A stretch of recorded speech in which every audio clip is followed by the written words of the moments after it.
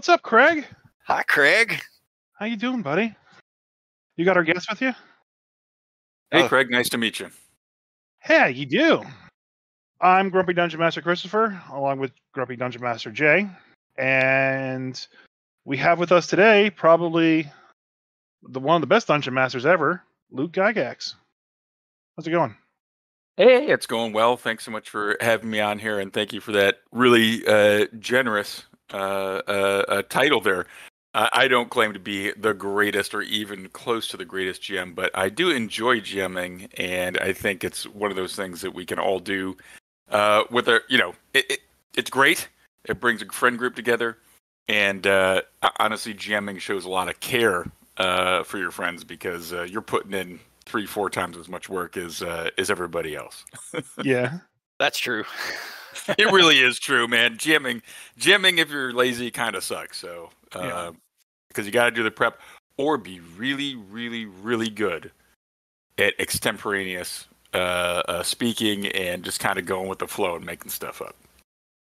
I, I do a little bit of both. Uh, like I don't like writing things down, but I, I come up with crazy ideas, and I usually have a couple of weeks between game sessions to sort of figure out ideas, and then I can just okay, this is what we're doing. Point A, point B, point C, and my players tend to enjoy themselves.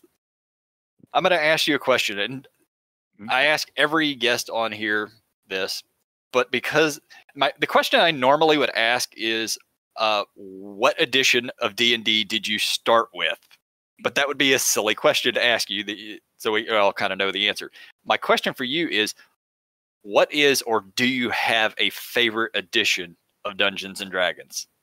Oh, that's pretty tough. Uh, I'm probably gonna say Advanced Dungeons and Dragons simply because that was really what I learned on. I played OD&D and basic D&D a little bit, but really it was Advanced Dungeons and Dragons uh, from the age of like nine or ten years on. Uh, you know, as my dad was writing it in that time period and kind of implementing it. So uh, that's more where my memories are. You know, because as a kid you, you don't remember that much. So AD&D is what I played for the longest, and then uh, I have to say fifth edition isn't bad. You know, I wasn't a huge uh, th- third edition or Pathfinder fa- fan. I thought it was a little bit too much uh, record keeping. Uh, kind of reminded me of some of the earlier systems, like you know Champions or something like that, where you did you know it was a lot of record keeping or Rolemaster. Or l- yeah, Rolemaster. You've got charts for your charts that have charts. Yeah, But that was the beauty of Rolemaster. It really was. Agreed. I mean, you just embrace the charts because you roll on the charts. You're like, oh my god, I did so well. I get to roll on more charts, and that's uh, really fun. Uh, and I totally enjoyed that. I played a fair amount of Rolemaster and, and, and loved it. Uh, but yeah, fifth edition is good because uh, AD&D. I think the audience, it had a big audience. Don't get me wrong, but it was more than likely to be, you know, your more scholarly types, your guy, you know, guys and girls who did did well in school, your nerds. nerds. Yeah, Yeah.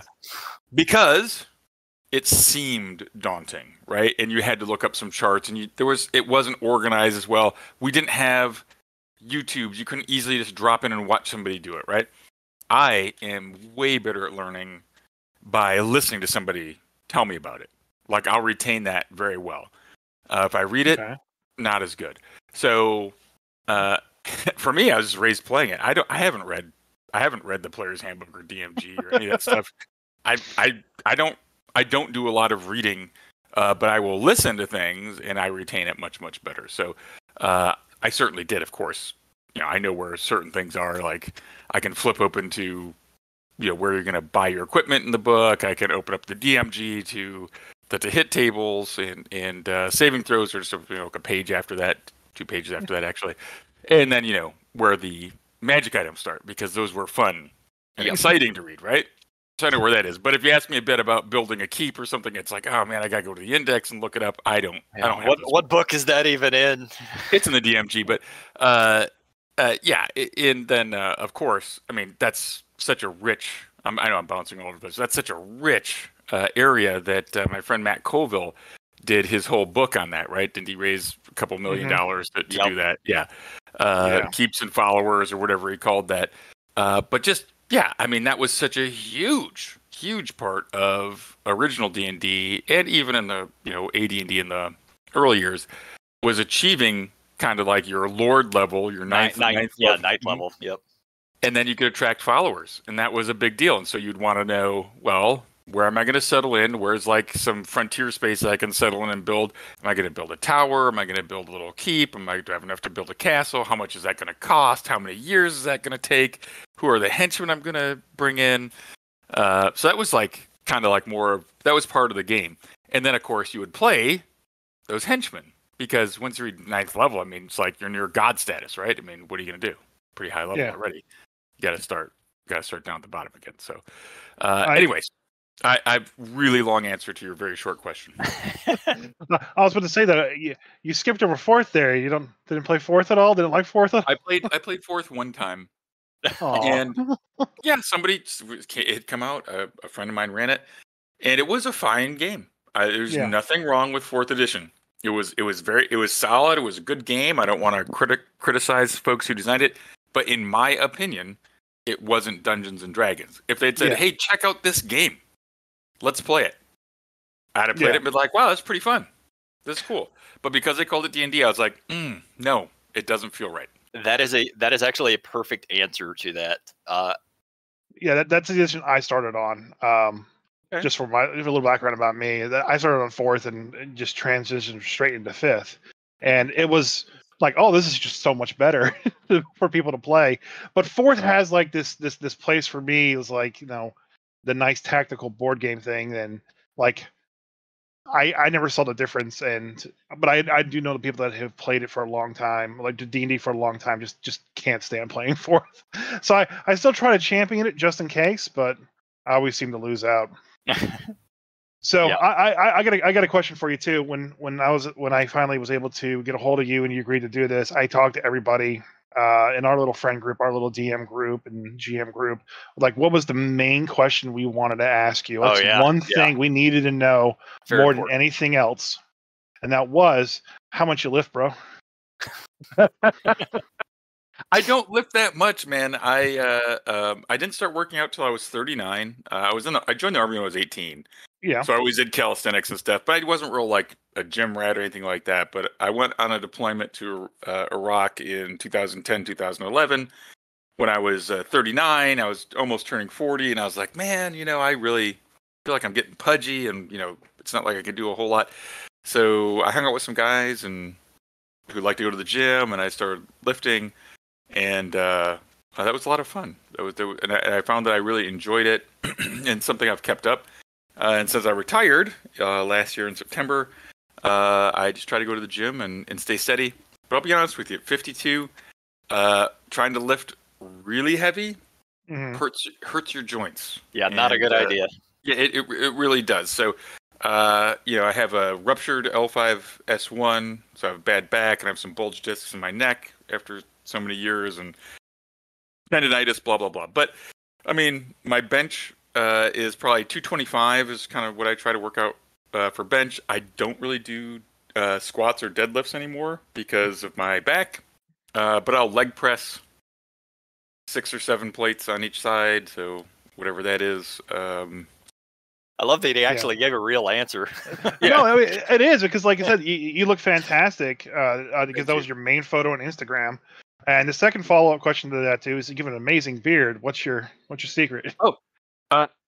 Just loving it. I because again, I was in the army for 33 years, so growing a beard was a rarity. I could get some scruff going. Uh, uh, but uh, I use oh geez, I forgot the name of the, the stuff that I use. Some sort of green, some sort of green putty that the uh, that the it's called pudding, beard pudding. Oh, so wow. whatever that is, yeah, some sort of uh, something beard pudding. It was whatever the lady at the uh, um uh, sport clips uh, said, "Hey, would you like to buy some of this?" And I was like, "No," and I, I was like, "No," but she put some on my beard, and my hair, and I was like, "Oh, this is actually pretty good." So I went But- to Amazon and purchased it. That's Yeah. awesome. Thank, thanks Yeah, for I- joining us on our podcast, Beards and Workouts. Yeah, beards and workout. Well, I'm telling you what, man, uh, the workout thing is is good because you know I, I- I guess I just uh, you know by dint of being in the military for decades, uh, I had to stay at a, some sort of modicum of of fitness level, right? Um, but uh, you know, from running GaryCon uh, uh, in and just being around gamers all my life, we tend to be a sedentary crew, right? By and large, it's just, Yeah. just it's just the way it is. I mean, I get it. I love to hang out, sit down, and what goes what goes well with with gaming. You know, having Pring- some chips- Pringles and tacos. Oh my Yeah, gosh, yeah. they sure do, man. And it's just easy as you're going just to pound those down. And that's not really the most healthful way to live your life, guys. I'm just telling you this. Uh, it, it, and so, uh, you know, that that that can be harmful. And I've, you know, unfortunately, type two diabetes and and health issues, stuff like that. It's just made me start thinking that maybe, um, maybe there's something that we should do to encourage our comrades to get out and do something more uh, do some physical stuff besides ha- having fun at the table and doing that sort of thing just to just to help us out just to live a little bit longer Yep. higher quality life be at the gaming table longer. I mean one of the things so um, uh, obviously i you know like i said i, I joined the army at, at 18 and i was doing my own thing. I always loved gaming. It's been part of my life. I, I you know obviously grew up in my father's household but i had my own my own life.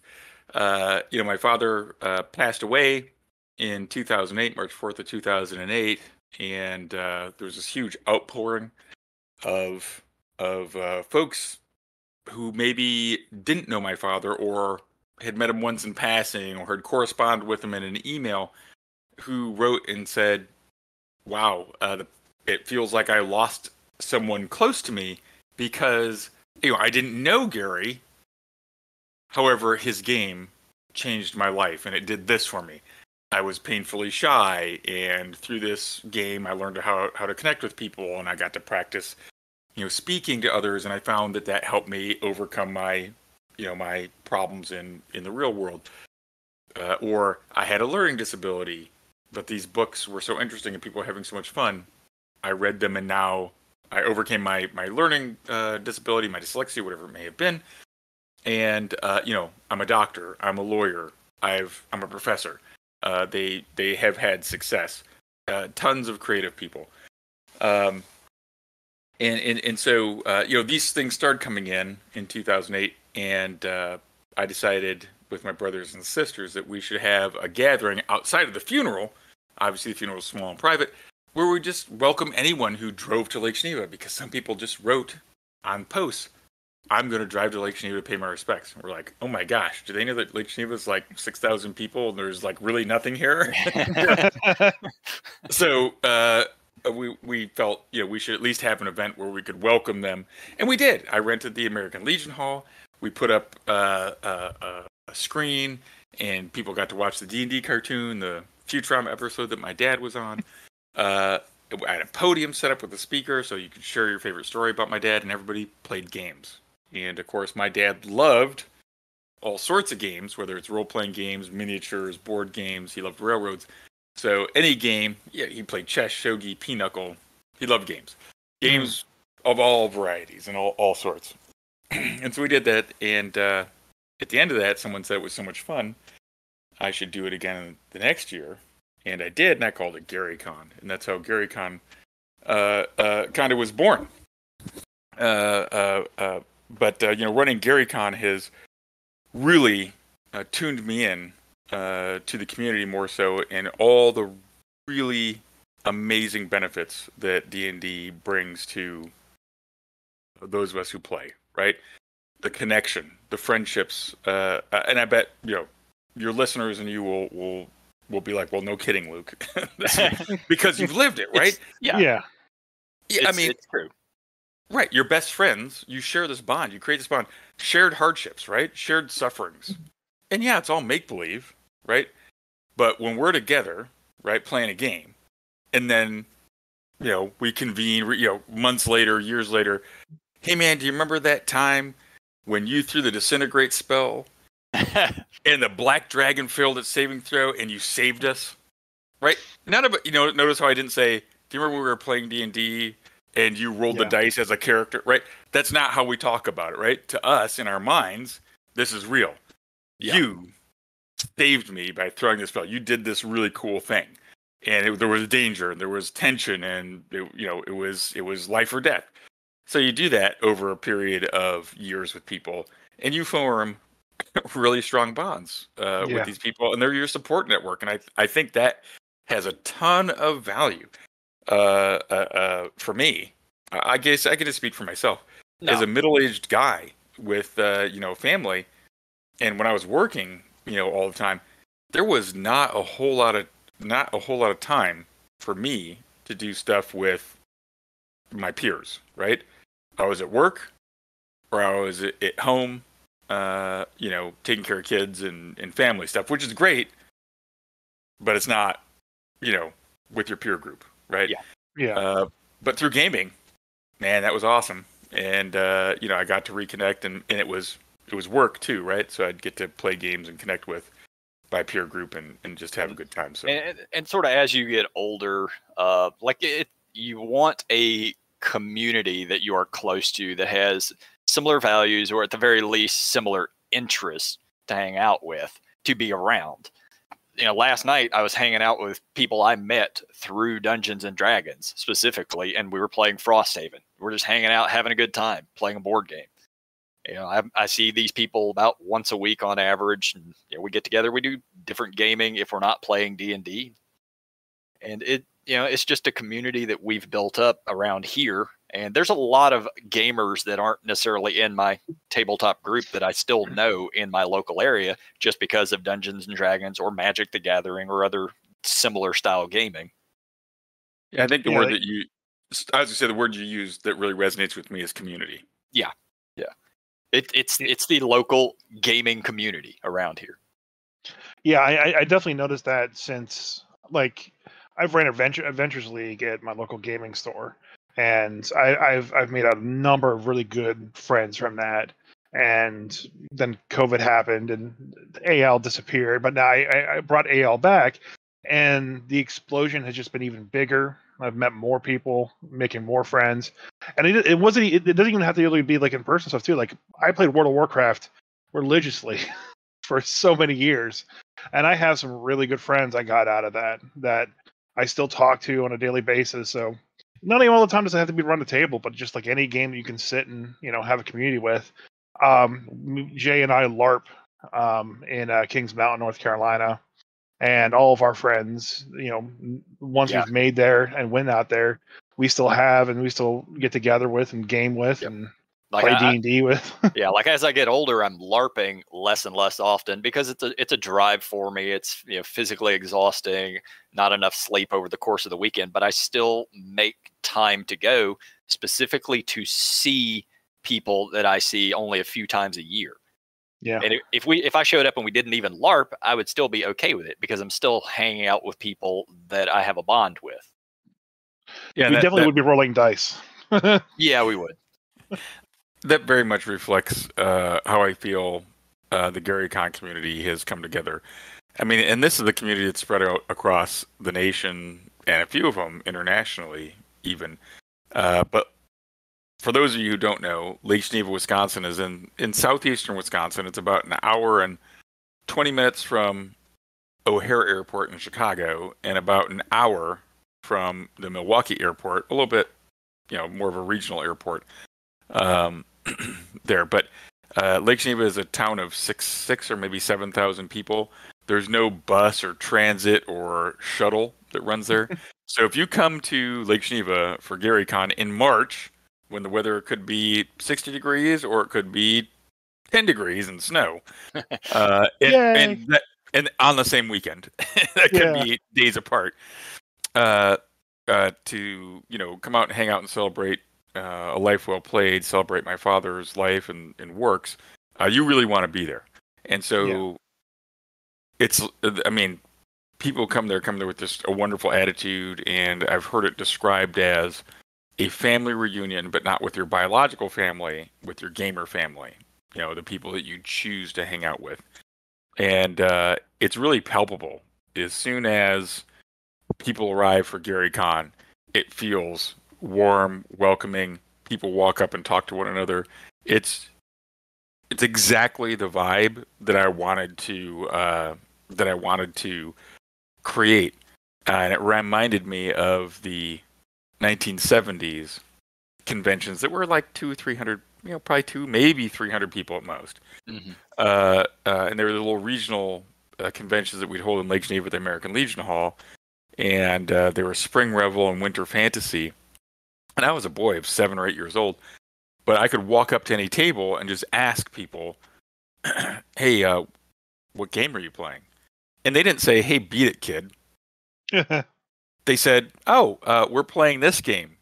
Do you want to learn?" Because it were, I mean, back then it was such a small community. You really f- wanted to foster people's interests and welcome them into the fold and kind of give them a, you know, hey man, let me show you what this is about. I understand, you know, the fact that you're asking me is really cool. Because imagine, remember what the the, the white box, uh, or sorry, brown box or white box, whatever your you know OD and D rule set said. Lit- little yellowed. Well, yeah, but uh, I'll I'll get up and I'll hold. Give me one second. I'll get up and I'll go read it because it's so unwieldy. I can't even read what it remember what it says. yeah, go for it. All right. So here's a a white box set. We I think I got this from my dad, but uh, uh, we sold all the wood set wood grain sets because that's what they're for, right? So Yep. I don't even have a wood grain set. All, all you collectors out there, very sad I don't have one. But So, somebody hook him up. Oh yeah, it's just a minor twenty thousand Yeah, yeah, dollars. yeah. You know, nothing big, right? It's pocket change. Yeah, I'm yeah, sure Jay will I- find one in one of his estate sales. Yeah, I, I, I do. I actually resell for a living, and occasionally I come across awesome stuff like that. So if I find one, it is yours. All right, dude. I appreciate it. Thank you. That that's very that's exceedingly kind.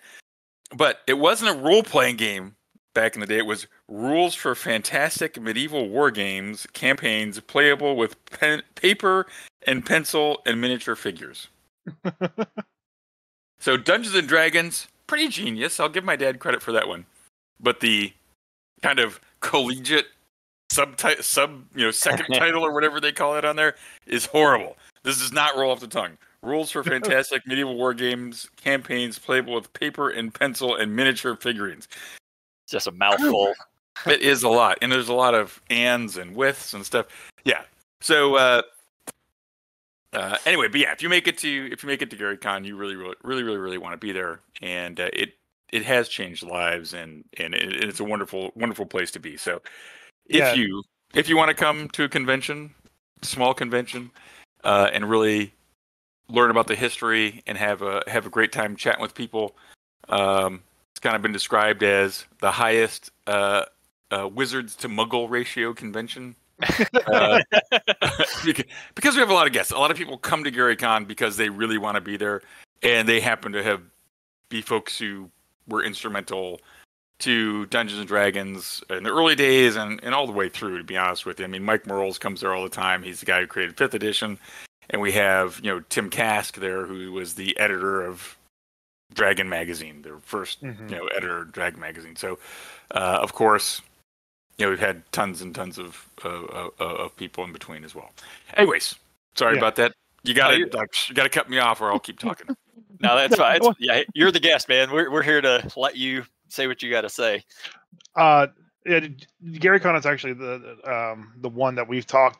Me and Jay have talked the most about going out and going to, because we kind of feel like that's the one that if we went there, you know, would we be going there as fans or just like you know throwing out the Grumpy Dungeon? We're not that big, but you know, get get our name out that way. But like we just want to go there just to be around that energy, you know. It's a good it's a good time. I mean, just Yeah. the, the bottom line is it is it is fun. It is uh, I poured my heart into this. I mean, I really this is not just it's not a business venture for me. This is personal. Mhm. Personal for my family and myself. And so this is really my family reunion. Uh, and it's I've invited all of you know all my gamer family to come too. Yeah. And uh, we're up to about 3,000 people, but it's still, I mean, you know, you can still, That's a lot of gamer. That's a lot of gamers in one place. yeah. it is, but we, we take it over, we take over the place, but it doesn't feel antiseptic. Yeah, It really, Yeah. it, it does not. And, I, and, I unfortunately like I I have the pleasure, and I say that with quotations, of the only con that I ever get to go to, and it's been a long time at this point, was Dragon Con down here in Atlanta. that's big. And it, I Mhm. mean, you're you're talking sixty thousand nerds that take over downtown Atlanta for a weekend, and it's probably bigger than that now. It's a Yeah. very different feel. It's a, it- It, it's Yeah. not a gaming convention. It's just It's a- not. it's a fandom or cosplay Yeah. convention. Yeah. yeah. it's it's more Yeah. akin to Comic Con.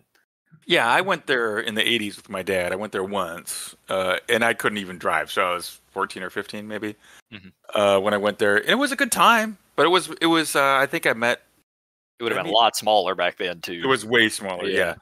I think that might have been where I met Piers Anthony, uh, Okay.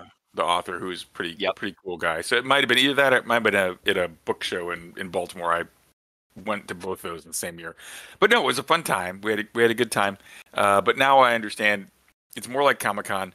And man, I'll tell you what, Comic Con's rough. I can't. I really. I went there one time, and Yeah. I hate. I hated it. I want hated to. it. I, I really want to go to San Diego Comic Con with my brother at some point because he's a huge fan of of Marvel and comics and all of that. But it, I, I know it's not the con for me. Um, No, I mean, Too uh, many people. It's Yeah. too many people, dude. It's it's it's too many people. If you want to wait in line for three hours to do something, it's the place to be. You know, if you if you if you love if you love Disneyland on Christmas vacation, then yeah, you're gonna you're gonna like it. But I found it horrible. I hate waiting in lines. Uh, I did a lot of waiting in lines in the army. I don't want to do it. I mean, I was at, I was at a con t- uh, in Huntsville, Alabama, two weeks ago. Uh, like it wasn't even a big con per se. William Shatner was there. Oh few, few, few of the Star Trek people and all, but it took us an hour and a half just to get in the doors. And this is Huntsville we're talking about. We're not talking Yeah. about you know Atlanta or San Diego or somewhere. Yeah. I don't like Uh, waiting lines any more than anybody else. Well, Huntsville, So- Alabama has uh, that's where all the aviators go to learn helicopter. Yeah, yeah, that's yep. Lot, lots of lots of military stuff up there. Lots of NASA things. Well, if you're ever near Columbia, uh, South Carolina in January, uh, we have a friend of ours who runs his own con called Scarab in Columbia uh, every Been January. around, been around for a while too. Yeah, and all it is is just people playing games. It sounds very much like like Gary Con. It just no no you know couple maybe you know rooms just a thing just to have some guests, but just people playing games. I went there a couple years ago and sat down and just watched my friends play Second Edition for like six hours and watched all of them die horribly. It was great and fantastic, and that was just the Ed, energy of yep. the room. That's second ed for sure. Yeah, so for me, I mean, Gary Con is is for me, it's about playing games, it's about Mhm. meeting people, and it's about making friends and sharing good times and and and and, and making new stories and adventures with each other. So uh, for Gary Con, I mean, I don't know. I really worked to keep badge prices pretty low. It was a hundred bucks last year, hmm but that's for four days. Yeah. And the vast majority, like 98% of games, are free. There's no charges. You just Yeah, you, you play games. There's a couple like if you want to play at 330 Center Street where I grew up and where D&D was written, there's a charge. I actually lose money on that to do it. But the lady wants money who owns the house. She wants money to, to be there. So I mean, whatever we charge, I pay her and I Yeah. absorb the sales tax and, and credit card fee. So it's a small loss for me, but it's a really cool thing and I don't want to charge more than a hundred bucks a seat Yeah. uh, to do it.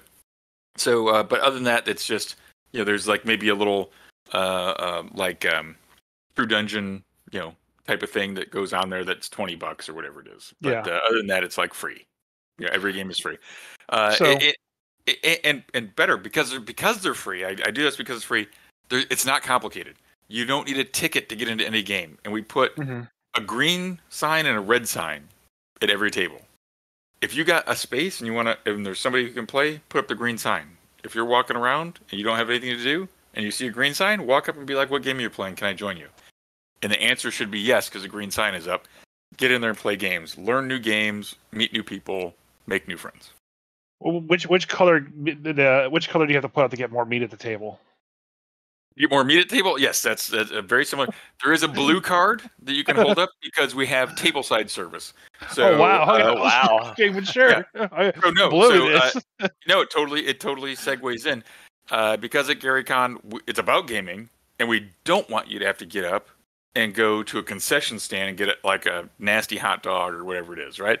You can order chicken sandwich, a salad, pita bread, whatever it is, a pizza, you can order that hot dog if you really want it, or bratwurst, or that sort of thing, and they'll bring it to the table along Mhm. with a nice a, a, a nice cold beer if you want it, Oh man. uh, while you play your game, and you just awesome. handle it right there. Yeah, so it's it's really um, it's different than other conventions. I haven't been to the conventions that are like that. We also have you know all sorts of great features. I'll you when you show up on Wednesday night to pick up your badge early for you know early badge pickup, I order like I don't know like 20 pizzas and a barrel of beer, and people can drink beer and socialize and have pizza. I have happy hour on Friday and Saturday, where if you have the Gary Con Stadium Cup, you get free beer, and uh, or free soda if you're if you don't care to imbibe alcohol, it's totally fine. We have we have soda there. Um, yeah, we just do little fun stuff. We had screenings of the D and D movie uh, that people would go Wow. to for free uh, last year. Um, so yeah, How'd, how'd you like it, by the way? I thought it was great, man. I, Yeah, I I really loved it was it. an it was an enjoyable film. Uh, you know, was it just like a D and D adventure? No. Uh, was it supposed to be? No, it wasn't. I mean, people need to lighten up. The uh, the druid couldn't have done that many shape changes. I get it. That- Yeah, in third edition, Come yes, on, they man. can. Well, I, I saw I saw her stat block on D and D Beyond. She absolutely can. It says so in the rules. yep. Yeah, why why are you nitpicking and and and and really trying to be difficult? I mean, I guess that's that's what social media is about sometimes. Well, I'm gonna be I'm gonna be a grumpy grumpy guy, right? Get off my lawn, kid. Uh, and and so I can do that. I think we I think we brought it up and complained about it just for like half a second, but we were just like, eh, who cares? Yeah, we don't care. I- It- it's it's a fine movie. to note. Fun. I think you note that that doesn't follow the rules very well. However, it was a cool uh, depiction in a movie, and and seventy five percent or more of the people who watch it don't know and don't give a shit about yeah. The rule set. Right? They want to be entertained, and it's that's its job is to entertain. Now, when we're playing a role playing game, it's a little different. We're entertaining each other, and part of that is engaging one another and including them and highlighting the features of their character. Right? Yeah. It, a, a movie is much more passive. All right, so we got to we got to allow them. It's a different style of storytelling. Uh, it's not a cooperative storytelling, which is what role playing is. So we all participate in that. Here we're just a passive viewer. Let them tell the story, man. Just you know. That actually that actually kind of uh, brings it to like one of the questions I had prepped for you. Um, I'm hoping I'm hoping you never got this question before, and um, I'm hoping I got. I hate new questions. So all right, all right, here we go. Here we go. has there so you you grew up of of course you know in, in a, your your dad's legacy Yeah. When he taught you to play dungeons and dragons and how to be a dungeon master how to be a game master is there anything that he passed along to you that so many years later you have a difference of opinion on now or just you just never agreed with Hmm, I haven't gotten this question before, so so it's a new one, uh, and it's fine. It's it, it. I would say that um, just a lot. A lot has evolved over the years. yeah just like anything else. No surprise, right? Culture changes. People, you know, your taste change, clothing styles change, right? Uh, uh, so that's that that's to be expected. So my dad came out of a military wargaming kind of kind of background, right? So he wasn't he wasn't RP heavy. He did move more towards RP over time, right? But in the early days, certainly not. There wasn't. It's like, hey, hey, let's let's get to the adventure. It's a dungeon crawl. Let's get to the trap part. Let's get to the mapping, and and figuring out the bits that were considered entertaining then, which was kind of puzzle solving through Mhm. the drawing of a map and finding areas that might have secret spaces and that sort of thing, and figuring that out, right? Um, and and how to defeat, how to use tactics to defeat various creatures or you Yeah. know traps and puzzles that were that were in the way. Um, what did he teach me that I that I didn't like? I think he didn't fudge any die rolls, and I'll be honest. with you. I would fudge a die roll. I will fudge a die roll for the rule of cool if it's a great you know story thing. If my rolls suck, I'm going to make a couple of them hit to keep that tension level higher. If I roll all crits and I'm going to crush the party and destroy them. And it's not their fault. It's just a lucky die roll. They were playing smart. I'm I'm going to fudge that a little bit. So uh, I don't mind saying that. I uh, I try to maximize ma- maximize the fun. Mhm. Uh, no, I can. I can. I, I there's times when I'll adopt a hey, we're going to run this old school. Let the dice fall where they may, and I'll just roll out in the open. And it's Yeah. just, that's how that's how it is, and that's okay. If I'm doing a one shot Tomb of Horrors or something, dude, I'm going to kill you all anyway if I can't, So like, just just deal with it, right? This is a foregone conclusion. Uh, so I'm, so that's I'm notorious for that, by the way, not fudging Right. rolls. Like at Adventures League, because Adventures League, I, there's always like new people that show up who don't understand the the dynamic a lot of the times. Yeah. So my stance for that has always been just I'm going to roll out in the open. You can see what I roll, so you know you can establish trust with me that I am not trying to kill you. You know, the die says you're about to die, so you're about to die. Fifth Um, edition. It's yeah. fifth edition. You can't kill them, bro. I'm just letting you know. Yeah. It's Well, gonna be really hard. I just, Well- I, I, hang on, hang on. Before you continue this down this line, I want you to know he kills a minimum of one character a week. That's awesome. Good job. That's hard to do. That's a skill set, dude. That's that's like rough. Okay. I, I've been, I've been running uh, the, my my Adventures League group through um, from the keys from the Golden Vault, the new uh, campaign book that came out. We did the third, no, sorry, the second uh, heist in there, which is like this devil casino, Yeah. and they got to the one fight in the whole campaign, Right. which is an undead minotaur versus seven level seven level two players. I killed mean, okay. Oh, oh, Yeah. Dude, but you how? how with one creature did you kill them? Because they get Uh, dropped to zero. How did their friends not say like word of healing, whatever the other million things I can do to return you to a So living they- status? there was a trap right before the room that took them all to about half hit points. Okay. And so the minute they went through and engaged with the Minotaur, the un, uh, the undead Minotaur, which is more of like a Minotaur clockwork in this in this thing, but Got it it, used the okay. undead Minotaur stats. Sure. And it was like third in initiative. So it the barbarian went in, he attacked, but didn't rage for whatever reason. I was like, "Hey, do you want to rage?" And it was like, "No, I'm good." No, I'm gonna right, reserve cool. that for later. Yeah. yeah. Right. So the, the Minotaur backed up five feet, charged the charged the Goblin uh, uh, Barbarian, hit him with uh, his horn attack, and again I roll right out in the open. I crit, so he's down. He's gone. Um, then another person goes in and Well, it, sneaks in. it, it doubled the hit points in the damage, so it just straight up killed him. Oh. Yo, yeah, Oh, right. Okay, they're pretty low level. Okay, got it. Yeah. Got it. Okay, that makes sense. yeah. Okay.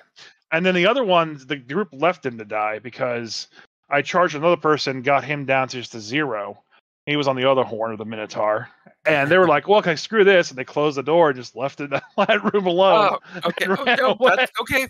That's that's just that's just not great play from the the players. I, I, yeah. what I'm gonna say. So- Adventure League is Adventures a lot like, like that in my in my own like, campaign that I stream on Twitch. Uh, I in my in my campaign group this time I had two kills, uh, both from the same monster actually. Uh, one at the very beginning of the campaign, or like near the middle beginning, and one at the very last session. And it was a Paragon uh, receptionist who was actually a succubus in disguise. Okay. And uh, for both characters, very different circumstances. She did charm them. She did get the succubus kiss on them, and they just went straight to dead because they were weaked. So I mean, it happens, and my players, my players understand me, and they understand that I just I don't really fudge rolls. Sometimes I'll fudge tactics. I will be I will be honest about that. I could have wiped the group by using like the third fireball from the the mage, but eh, I wasn't going to do that. I mean, That's like, just, yeah, I mean, just that- cruel. yeah, it does. It be, yeah, I mean, because then you have to get more inventive and be like, how do I create some demigod or whatever who's going to bring them back so that they can do this, and then they owe them or whatever it is. Yeah. Yeah, where it's sometimes it's better to, to fudge it that way. Uh, yeah, I guess I. I mean, I don't know. Maybe I play with some pretty decent players. Well, They don't, I they don't often screw up. yeah, it, it, fifth edition is definitely a lot harder to to kill people in, like, because I started uh, Red Box Basic and then Second Edition. So I, I've played the earlier editions where it, you know, it, you start off at first level. It's actually possible to die during character creation. dude, I, I'm I'm telling you what, dude. I, I'm just. I mean, this is. I, I mean, this is just this year. In Mar- at Gary Con in March this year, I played uh, just a fantastic game. Uh, my friend Andrew Perry, with the uh, uh, Warp Guilds of, uh, um, it's a it, you know gaming group that he's had together for about 40 years. Uh, and it's like 200 players now. They've created. Oh, wow. Yeah, but he, Wow. uh, you know, he met my dad when he was when he was young. Uh, you know, he came up to Lake Geneva. He was in the Chicagoland area. He came to Lake Geneva and bumped into my dad and chatted with him. And my dad was was a pretty, uh, you know, friendly person and welcoming, and kind of like people have said about Stan Lee. Uh, you know, if you write him, he might write you back. And so uh, uh, Andrew met my dad. My dad gave him a, a die. I remember the metal die that my dad had at the time. Uh, he had a bunch of them. He gave him a metal die, and Andrew still has this uh, today. And just started chatting with him. So Andrew would write him little postcards. My dad would respond. Uh, and and they talked about yeah, right. And he was just a kid. He's a young man. You know, he's ten or twelve. Oh man, it's cool. And uh, he'd played Barrier Peaks, and he was excited about the all the levels. You know, the additional parts. Like, hey, what's coming for Barrier Peaks? And so he started mapping out all the levels that would of the ship that that would be there, and put them on like you know, like a pizza holder has like several racks or Mhm. whatever. And so he came up and showed my dad that apparently, and my dad had looked at it and was like, "Okay, this is pretty cool." It's probably one of those things my dad never got to, right? You know, uh, Mhm. uh, uh, but uh, he's uh, Andrew's been playing this campaign beyond Barrier Peaks with all the additional levels and the stuff that he's made up, the continuation for decades. And so uh, I played it in like 2018, and I loved it. And so I played it, played you know a couple adventures with some different different groups. But when Joe Manganiello uh, told me that he was going to bring some of his gaming group there, and he's going to be shooting the uh, 50 years of D and D documentary at Gary Con this year, he's like, uh, "It'd be cool if we play a game." I'm like, "Yeah, let's let's do it." And I'm like, "Who do you got?" And he's like, "Well, I've got you know Mike Mearls and myself and Chris Fernosky, who owns a animation studio that does like Vox Machina and some other other games." Uh, he's like, uh, I'm like, okay, who else is going to play? And so we ended up over time. Uh, it, it was uh, Tom Morello, who's a guitarist from uh, Rage. Against the Yep. yeah Rage Against the Machine. Uh, Vince Vaughn, actor who is in tons and tons of films, including Wedding Crashers and you know Dodgeball and things like that. Uh, Bold Yeah, move, myself- yeah, it was great. Yeah, uh, I, I was there. Mike Mearls, who wrote Fifth Edition. Uh, you know, Chris that I mentioned. James Hunter, who's uh, writ, wrote uh, Viridian Gate and several other lit RPG things. Uh, uh, Joe Manganiello and his brother Nick, uh, and Jim Kitchen, who's the auctioneer at at, at, Gary Con. Uh, you know, so we're all there, just you know, going through Beyond Barrier Peaks, and and man, it was That sounds just an amazing. amazing. Th- it, it- well, well, it was it was amazing. We were playing one E, and and these guys, you know, just like the rest of us, right? Didn't we play in in you know junior high school and high school, maybe college? Life happens. You have kids, all sort of stuff. You know, Tom and and Vince had just come back to it. Oh, sorry. Paul White was also there. He's known as Yep. the big the Big Show in Yep. in uh, in WWE. Just the nicest guy, by the way sir, ma'am, like super polite. What a gentleman he is, and hilariously funny. Uh, but do not screw around when you're playing a D&D game with Paul White. He is super serious, and he does not like people fooling around. He will let you know that you're not. You're like, he's like, hey, focus. We're playing a game. And when you're seven foot four, and 450 pounds, dude i gave him a hug i'm 6'3 and like 270 i gave this like a guy i gave him a hug good night i couldn't get my arms around him all the way he's a big yeah. So, dude so Yeah. Chris, uh, he's all. How tall are you, Chris? Mhm. Six foot nine, four hundred. oh right you're now. big oh you're a big dude okay yeah Yeah. hard to So tell online Uh, yeah, I would love to meet like someone bigger than me. Like that's like the goal. not just Well- not just like tall and skinnier, but like just bigger. And like the Big Show would be one of those people. He's a big dude. He's a big dude. Super nice guy. Just what, like I said, what a gentleman. What a, a very, very funny, self-deprecating. I really enjoyed uh, meeting Paul, and think he's a gentleman if he ever hears this. Uh, he was, it was it was a pleasure meeting him. Uh, but we're yeah we're we're playing this we're we're playing this game. It was great, and, and I I mean I don't know that was it's got to be a highlight for me. Yeah. Uh, I mean, it sounds like a great crew of Oh. people to be playing it with, and that's So- what that's what makes the games is who you play it with. But the first, but the earlier it was it was second edition, but we're still making we're twelfth level, right? We're average Mhm. at twelfth level. We're making save or die checks, Yeah, save or die, bro. Not just like saber. Oh yeah, yeah. No, it's like this is it for you, dude. You're done. If you roll below a twelve, you're you're screwed. Uh, that's a different tension level than fifth edition, where it's like, okay, if you miss this one, we're gonna give you like five different ways that you can get out of this. You have to roll like yeah. below a five several times. the yeah. only time I've ever seen somebody fail a save or die in fifth edition is an intellect devourer. Uh, because they, they, they do still have the ability to one shot kill somebody, but it was two failed saves in a row, and not just failed, like two natural ones that killed the barbarian, who who, who was pretty much not going to die to anything, and then just straight up, oh, nope, he's dead. I ran through it- I ran through Tomb of Annihilation um, Okay. right before COVID. Actually, when COVID hit, before I started streaming, I ran Tomb of Annihilation. I killed 11 players going through that because a lot of the stuff in there was save or die. You know, or save and take a bunch of damage, and if you're brought to zero, you die. I think there was like one or two save or die traps. Um, Yes. It, it But is I a also- whole other level of tension, yeah. I also took Tomb of Horrors last year and I revamped it and called it the Tomb of Refurbishment. and I ran my own kind of like small tournament and just kind of updated it so fifth edition would flow better with the traps and kind of make it faster. So people you could gotta get the four you hour gotta, you gotta share that with me because I run one e I run a one e Tomb of Horrors like speed Tomb of Horrors where I try to get people through in like two or three hours. Yeah, I, And uh, yeah, so I'd love to see what you do in fifth edition. Yeah, I I'll- I'll- I'll definitely send it to you. Uh, basically, the concept behind it was is that I looked at the the lore for the thing and found out like Vecna came through and destroyed it during fourth edition. I got the book that describes it all right here, and so I was like, okay, so it's a, destroyed place. So the Grumpy DMs bought it for for copper on the gold, and they've re- recreated it as a Tomb of Refurbishment. And I said I ran a tournament with that, and I actually got the tournament coming up again this this in July here in Charleston. So I, I don't know what exactly I'm going to run yet, but um, but uh, I I did put the the Tomb of Refurbishment for free up on DM's Guild for people to grab, and I'll make sure you get a copy of that. Yeah, send, send me a copy. Maybe I'll run it as a as a as a fun thing to do because because I'll I'll run it at, at conventions and Mhm.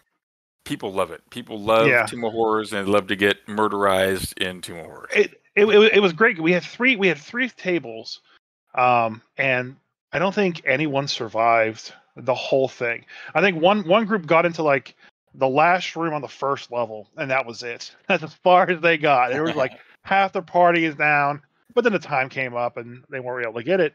Um, but yeah, it was it was so much fun watching that and just watching people kind of go through and run that whole uh thing. And it, it just it was it was like i said I, i've met so many good dms from that.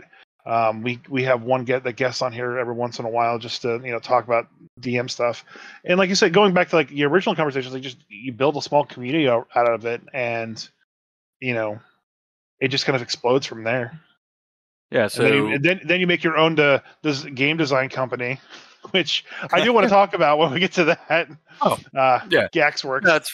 Yeah, Gaxxworx. Uh, you know, for those of you who are listening, uh, like I said, I, just, I was in the military for a long time. I've loved gaming. It's been a hobby of mine. I've done a few things here and there uh, over time, but uh, I'd like to make it, you know, a bit more uh, uh, of a of a part of my life. Certainly, Gary Con is a, a huge part of my Mhm. life, and I'd, and I'd like to also have a publishing arm, which I wanted to keep distinct from Gary Con, because really Gary Con's about yeah my dad and and and and you know, his life's work and promoting that legacy and all the positive aspects of gaming.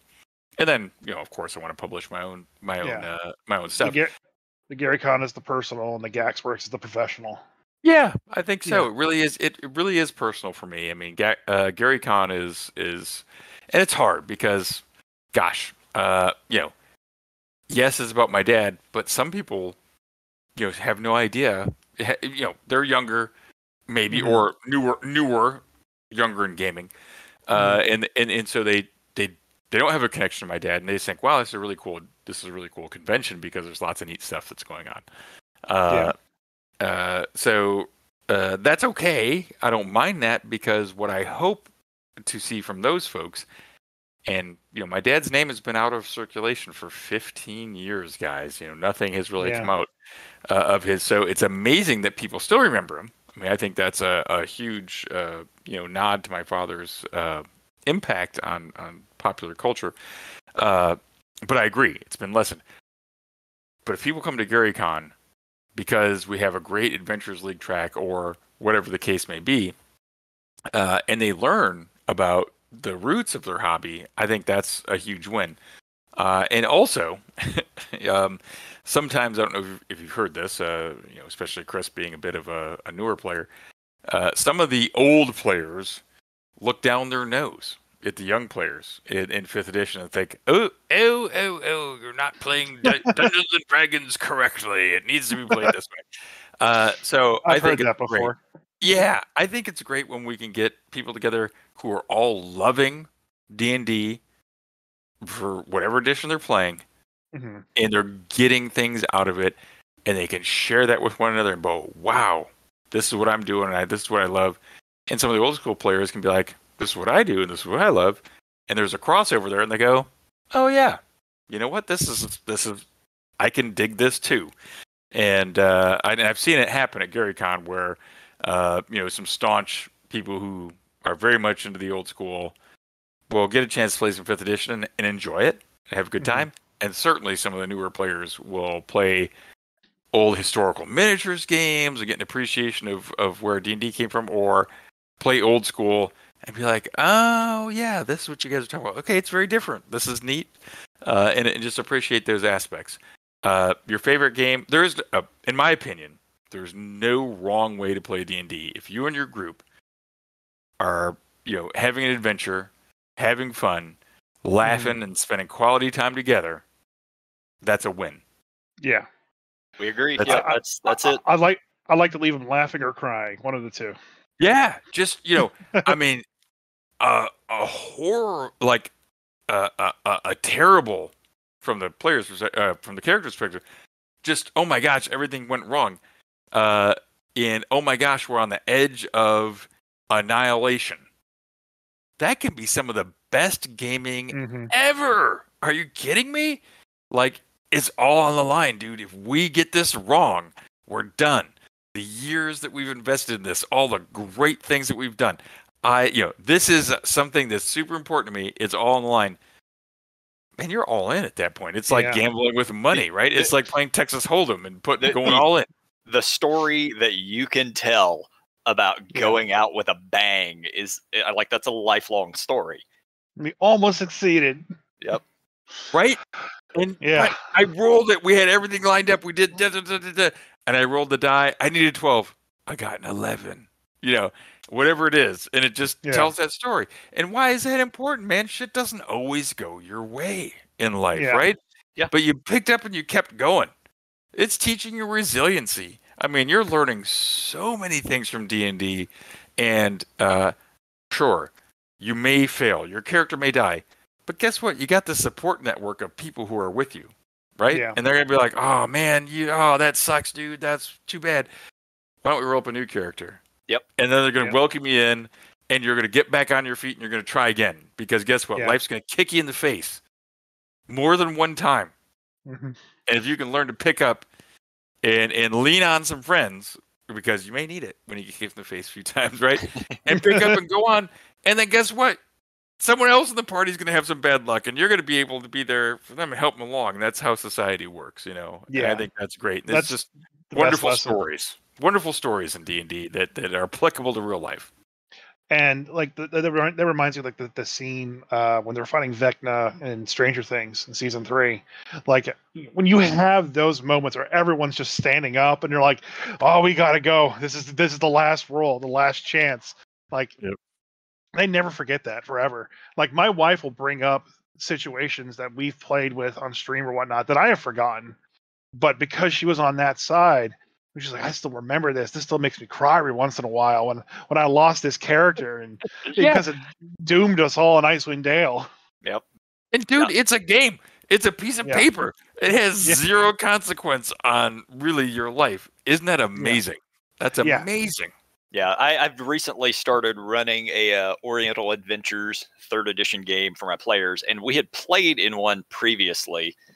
And like one of the first stories that we started talking about with this was one of our other players losing his character in the very first battle of that other, you know, Oriental Adventures game, because you know he's playing an honorable samurai, and we me and him basically kicked in the front door of this bandit hideout, and then he just got killed right there on the doorsteps.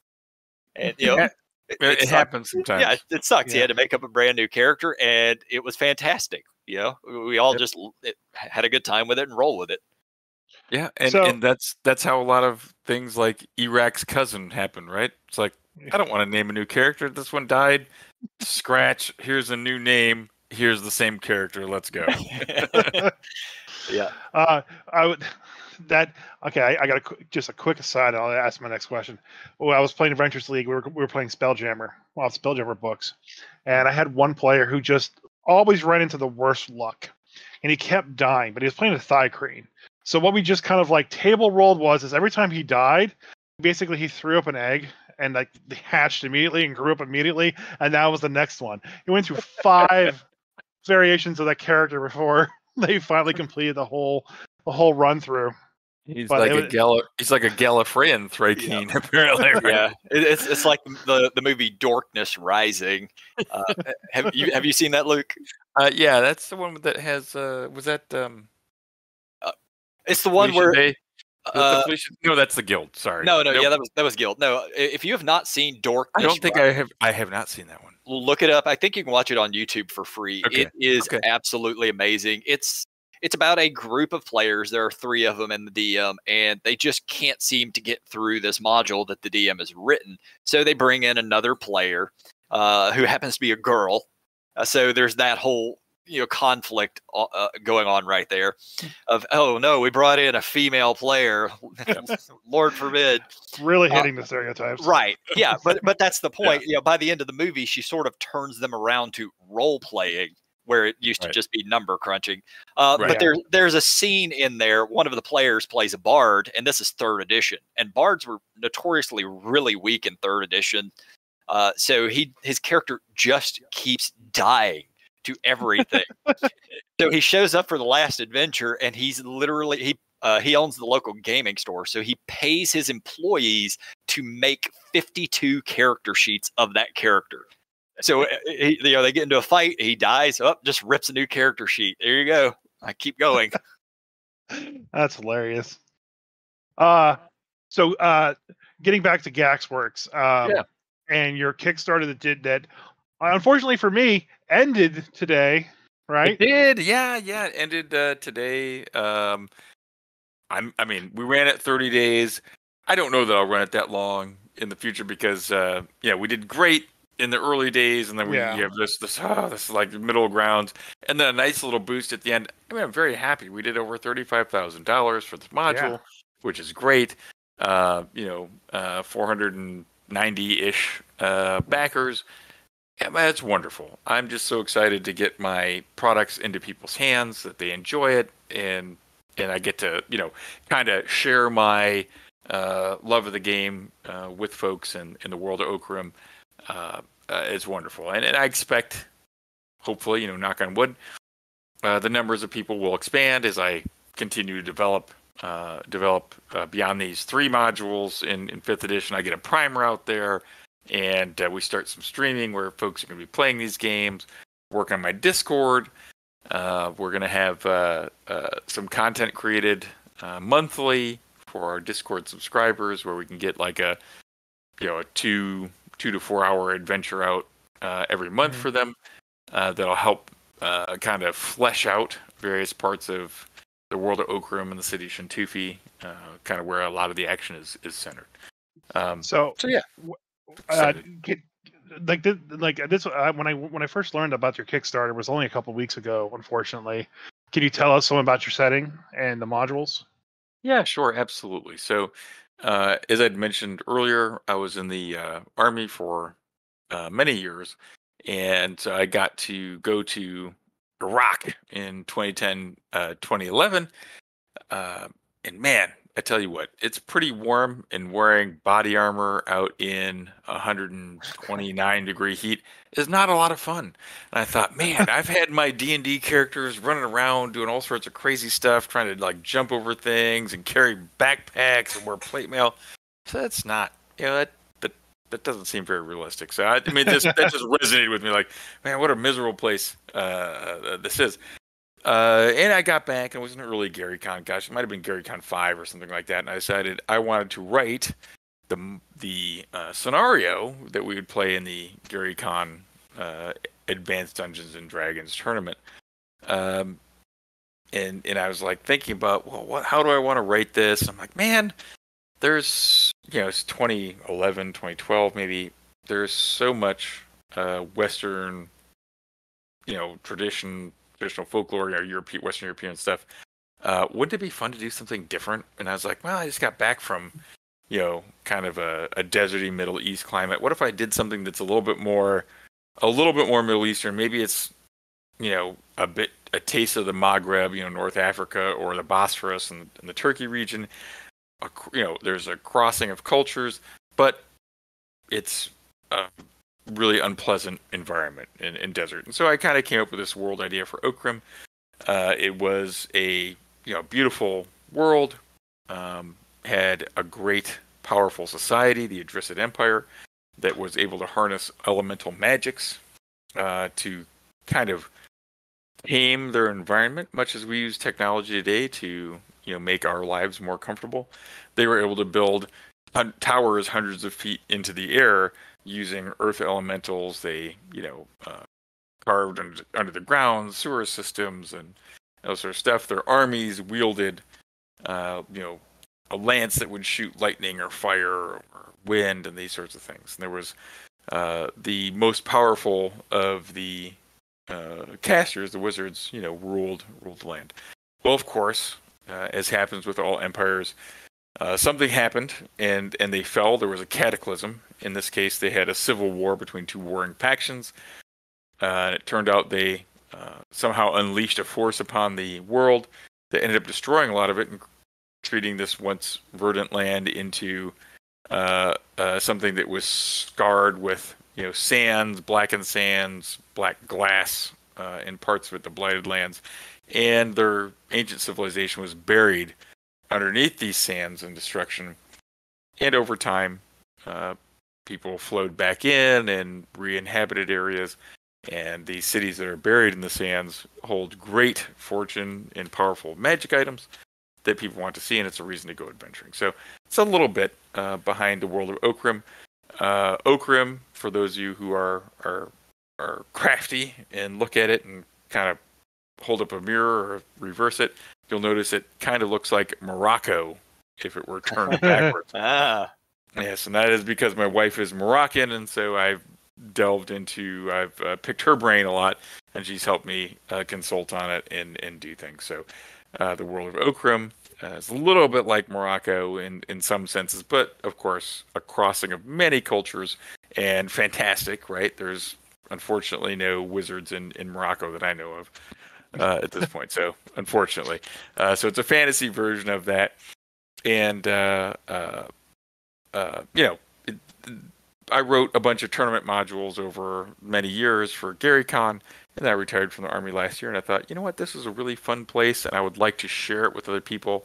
And so I started writing fifth edition adventures with my friend Matt Everhart, and uh, here we are with the the Eye of Chentoufi, the Heart of Chentoufi.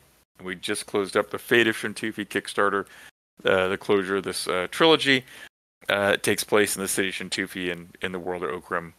it Uh, sounds it sounds It's like a great. yeah, it sounds like a great setting for running modules or one shots.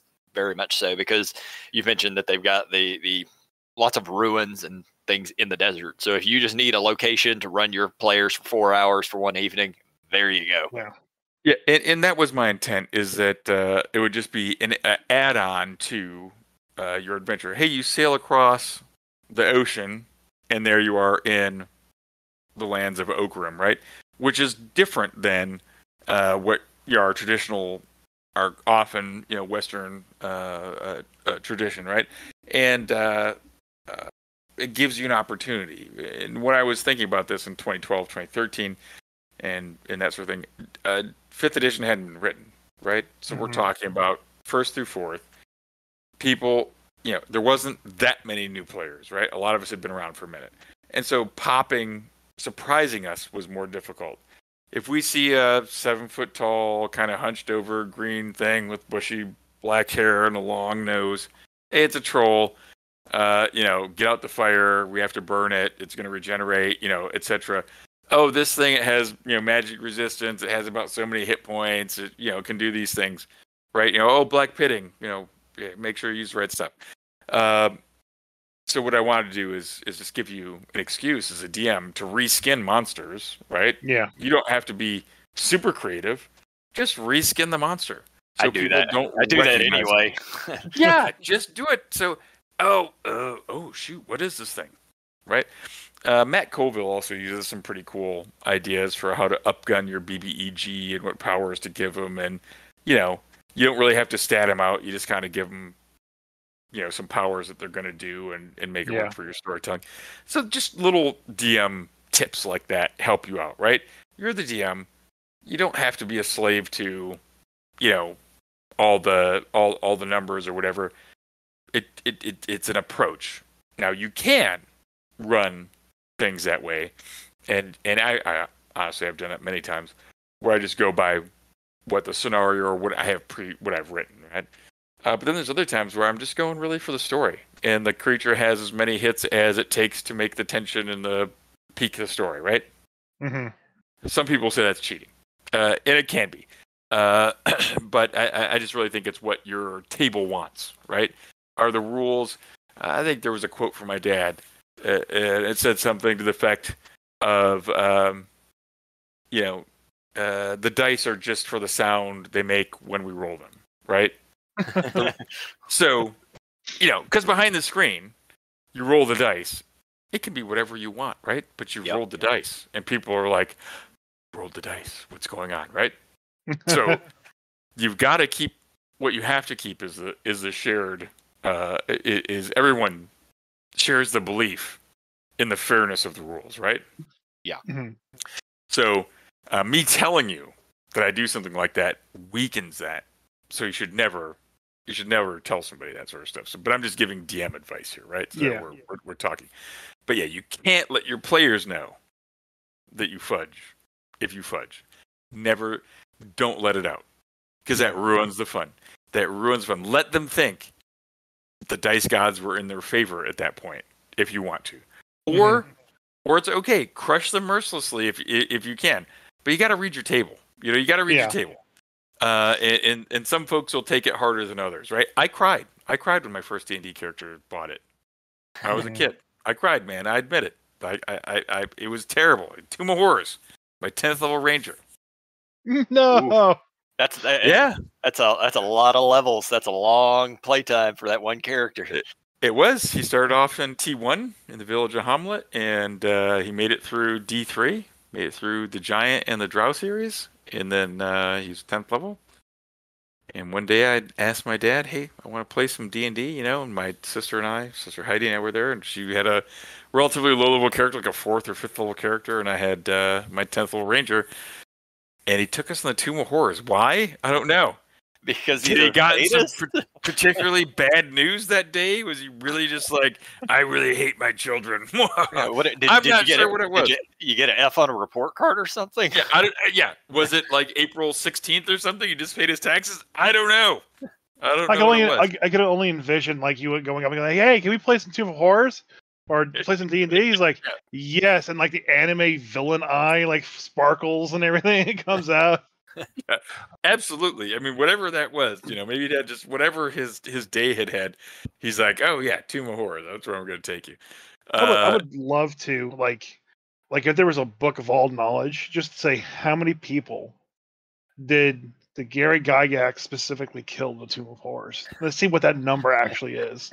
Is it in the tens of thousands, hundreds of thousands, higher? And then I know. globally, how many people have died in Tomb of Horrors? That's definitely in the hundreds of thousands. It's been a lot. A lot of people have died in Tomb of Horrors. I mean, what a great adventure! And of course, of course, this came out of it's very early. It's like 1979 or 78 or something. It was mm-hmm. it's old. It is old, and it came out of a guy named a guy whose name was Alan Lucien. Uh, was shared with my dad like a mummy tomb adventure. And my dad's like, okay, this is pretty cool. And he's like, huh, I bet I can upgun this a little bit. And so he did. And there was Origins, which was kind of a competitor to Gen Con, another convention that a convention that my dad started, right? So, in case people don't know this, Gen Con was started in Lake Geneva by the International Federation of Wargamers in 1968, right? So, the Gen Con stands for Geneva Convention. So that's what Gen Con stands for, right? Which is the rules of war, right? The Geneva Yep. Convention. So, so there you go. So that's ha ha ha. That he loved puns. Uh, okay, so uh, yeah, so Origins was a competitor to Gen Con, which is a convention my dad started in Lake Geneva in 1968. Now in Indianapolis, owned by my buddy Peter Adkison, and uh, a, a, a great convention. Oh yeah, Yeah. yeah. Uh, yeah Peter yeah. Ad- I, I Peter- used. Go ahead. Go ahead. No, I was gonna say Peter. Peter bought it. Peter owned Wizards of the Coast. He bought Mhm. TSR right uh, when they were bankrupt from mismanagement, and uh, so he bought it. And then, due to the popularity of Pokemon card game, Hasbro purchased that from him. But Hasbro had no interest in running conventions, and so Peter very astutely said, "Well, if you don't want this, you know, garbage, I'll just I'll keep it. it. I'll just keep it. Yeah, you, I don't want to saddle you with this burden, so I'll just keep this thing. Yeah. And he turned it around and made it into a very profitable thing. Yeah, so he, I, I always wanted to go to Gen Con because it was the gamer convention back then, and it was up in, like you said, Geneva. So I wasn't just gonna, you know, that's a long drive for me and everything. And then I was living in Bloomington, Indiana, which is about an hour south of Indianapolis. And then I moved to Columbus, Ohio, and then back to Atlanta. And pretty much the year I moved back to Atlanta is the year that it moved to Indianapolis. Ah, okay. So so I was like an hour or two away from it, and yeah, just timing never worked, and I just haven't driven up there to go to it. So. Uh, it's so Gary Con is small, intimate. Uh, you can walk up to a guest and uh, you know, assuming they're not in the middle of a game or some other function, and say hello. Chances are they're going to have a nice conversation with you, right? I mean, that's that's the environment. Gen Con, it's 60, 70,000 people. Right? Yeah, it's it's become massive over the Yeah. years. Yeah, so it's not a place where you're gonna like come up with people in, in chat unless you're already in that. And these are your like this is your social network. That would be Yeah. the only way that that, that would happen. So, um, but Gen Con's cool. You get to see. Oh my gosh, their exhibit hall is vast, and there's so much cool shit going on. And True Dungeon rolls out, just a great show. Um, and of course, I love uh, Peter Adkison is just a, a really nice guy whom I consider a, a, a good friend, and uh, I love to go there and support him. Awesome. So, um, your your modules that you have the the heart of Chentuli. I'm gonna I, I, I butcher all names. He does. Um, he, he butchers so- all names. It's a hard name, so I named Yeah. it Chentoufi because that's my my mother-in-law who just passed away in February. Her oh, last name, her maiden name is Chentoufi, and so I named it after after her. So it's the city of Chentoufi. Her name was Zahra Chentoufi, and so that's why I named it that. So that that is fifth edition. Um, those modules. It is. It is. Um, and you have another Kickstarter coming out here soon. This is what I want for- to talk about. oh yeah. Strange oh, yeah. and Grim, Strange and Grim. Uh, yeah. which isn't fifth edition. It is right? not. It it it's well. honestly, it's kind of close. It's D So, twenty. it's all. it's a D. Yeah, it's a D twenty system. So Based, based uh, off of D20 Modern, which I used to play way the hell back when. Exactly. So D20 Modern was like kind of the uh, third edition variant where you could be like, "Hey, you know, you you know how to play D&D, right? Yeah, of course I know how to play D&D, dude. Uh, do you want to play like modern era like stuff? Do you want to be Predator? Do you want to play Alien? Do you want to you know, do you Oh yeah, totally cool. There's guns and stuff. Yeah. And so that was it. So they took that concept, that same concept. My uh, friends at Evil Genius Games, a guy named Dave Scott, uh, said, "Yeah, I want to do that." And so he reached out to Jeff Grubb and uh, built a team of uh, creatives and did the Everyday Heroes uh, rule set. And Dave's super smart guy and really savvy. I wish I'd had this idea. He licensed uh, cool IPs like Escape from New York. So Mhm. Love that Right. movie. and Yeah. Rambo and stuff like that. So you can go play Everyday Heroes, Escape from New York, and you could be Snake Plissken or whatever, Adventure in Snake Plissken's New York, and go on those sorts of missions. How freaking cool is that, man? That's Yeah. really cool. And so uh, we were looking for us. So my friend Matt Everhart, who co-writes uh, the uh, the Chentoufi series with me, really really good guy. He's an Air Force officer. He's uh, at a senior service college right now. He's just going to be graduating very very soon. Huge huge honor. He's going to uh, you know knock on wood be promoted to colonel, full bird colonel 06 in the Air Force, which is uh, no small accomplishment. Yeah, so hats Congrats off to him. yeah, hats off to Matt. Really, really great stuff.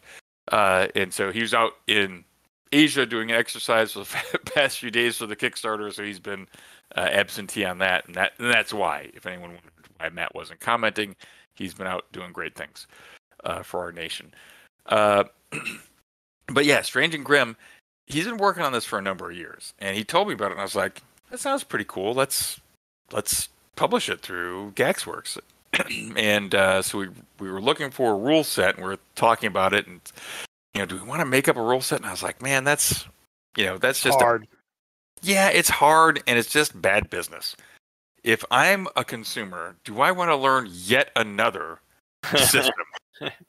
no. no, no, we don't. No, I don't. I don't want to do that. I'm I'm as lazy as the next guy. I don't want to do that. So uh, I I said, well, you know, what else is out there? And Matt's like, hey man, this Everyday Heroes was pretty popular, and Jeff Grubb was involved, and you know, he's a good designer. And I was like, okay, Jeff's pretty cool. So I called Jeff and said, hey man, can we license this thing? And he's like, actually, it's not me, it's Dave. And so I got to talk to Dave, and he agreed. He was very uh, nice gentleman and, and really uh, enjoyed uh, uh, speaking with him and working with him.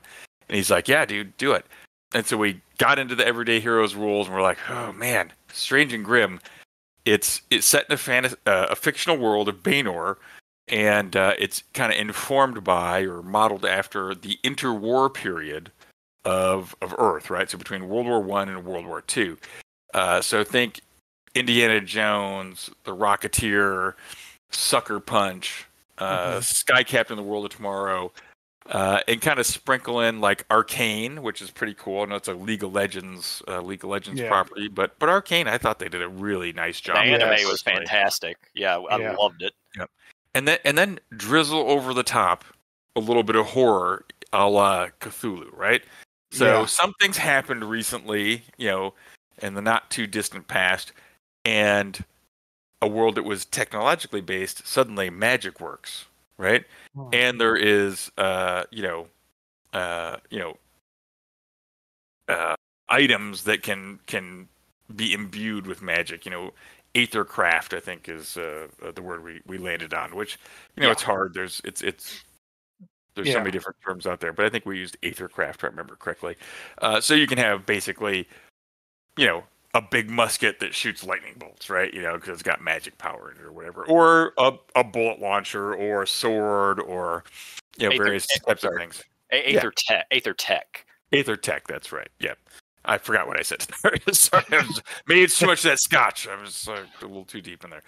Uh, uh, but yeah, so Aether Tech, and and so essentially, you're you're uh, you know, there's uh, it's a bit of you know it's interwar period, but corp corporations are very important. So if, I don't know if you guys did, see you probably Kristen game in the '90s, but in the '90s that was a big that was a big uh, topic where you know corporations were to take over and succeed governments essentially. So Oh, yeah. would be run by corporations, right? Having, so having having run Hey. a lot of Shadowrun, I'm very familiar with it. there you go. So very Shadowrun like. So there's that Running- Shadowrun aspect to it as well. Running Man's one of my favorite movies. Yeah. Man. Running so Man good. was great, dude. I loved. Uh, Schwarzenegger was like. I, I love Arnold Schwarzenegger uh, movies when I was a kid. They like totally amazing, and uh, Yeah. Yeah. Predator. I gr- I- I Predator grew is up still on 'em. probably the greatest movie ever made.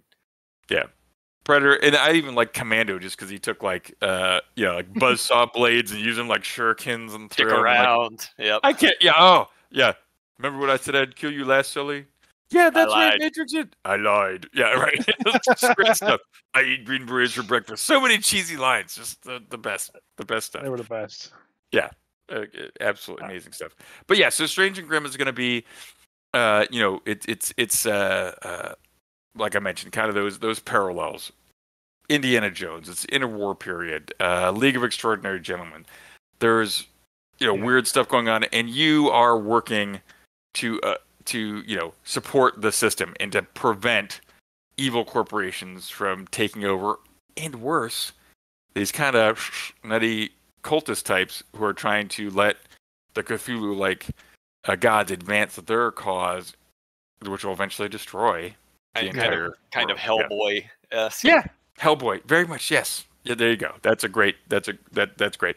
And uh, you know, we played around with hit points and kind of came up with an edge system, which I know has been uh, there was edge in other games, that sort of thing. But we wanted to make a differentiation between kind of your your your hit points or your your health when you're wounded, like actual wounds on your Yeah. body, versus your skill as a warrior uh, to avoid damage, or whether it's luck or magical ability and those sorts of things. That's your edge, right?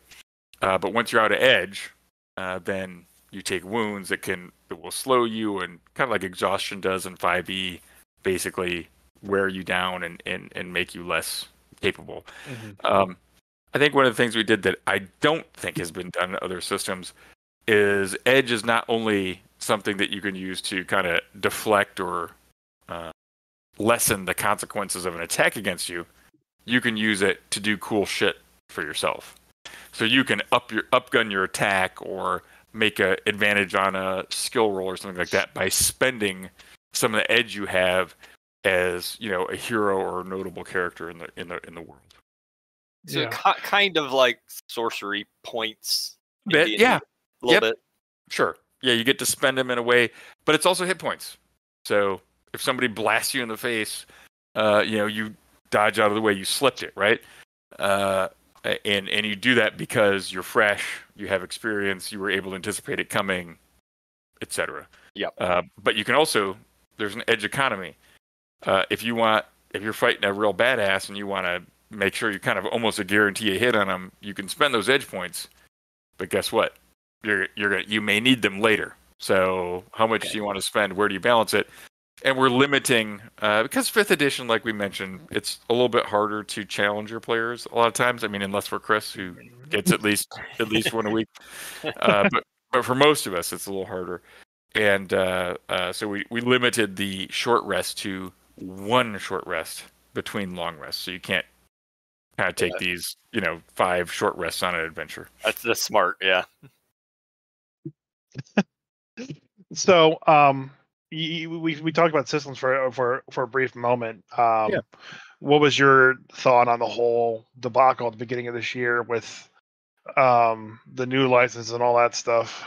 Yeah, I just think that was really a just a big misstep. You know, I there's lots of nice people at Wizards of the Coast. Uh, I'm Yeah. I'm not I'm not a hater. I I you know I respect a lot of uh, fellow creative folks who are out there and, and don't wish them any harm. But uh, gu- it seems like somebody who didn't know what they were doing just really tripped all over themselves and and and and just made a what a way to alienate your your market and uh, try to change something that was clearly, very clearly meant to be long lasting. Now, if you want to change it and say, hey, you know what, we're going to make sixth edition, and we are not going to license that sort of stuff.